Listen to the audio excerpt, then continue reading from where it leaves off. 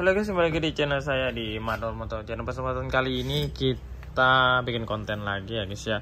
Dan konten kali ini yang lagi rame di sosial media eh, Motor metik itu mengalami kropos atau berkarat. Nah di sini kita memberikan pencerahan Bagaimana cara mengatasi untuk motor metik berkarat Dan sampai terjadi kropos dan patah. Nah jadi untuk motor metik ini dia di sini ada eh, rangka dan dia untuk rangka ini eh, dari atas sampai ke bawah itu ya guys ya. Nah jadi yang sering terjadi kropos ataupun berkarat itu dia dari bagian atas sampai bawah di sini ya guys ya. Nah karena motor metik itu eh, dari motor metik yang lama ataupun yang baru itu berbeda bahan mungkin dari eh, produksi produksi bahan itu sudah hmm, terbatas ataupun memang dari PT-nya bagaimana ya guys ya? Dan di sini untuk motor metik ini eh, untuk model lawas seperti ini dia lebih tebal daripada motor-motor yang baru.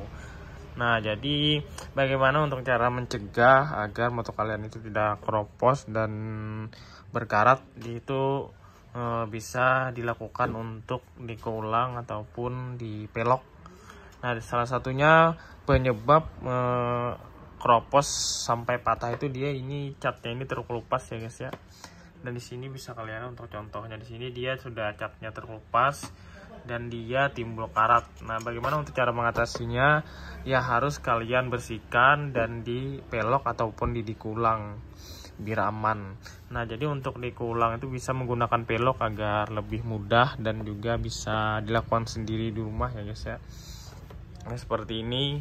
Nah di sini digunakan amplas gunakan epoksi lalu diwarna dan juga terakhir di clear dari atas di sini maupun sampai bawah ataupun satu hmm, sampai semua ya guys ya. Tetapi untuk motor metik tentunya untuk sering terjadi itu dari depan ini guys. Karena di sini kan dia uh, semburan.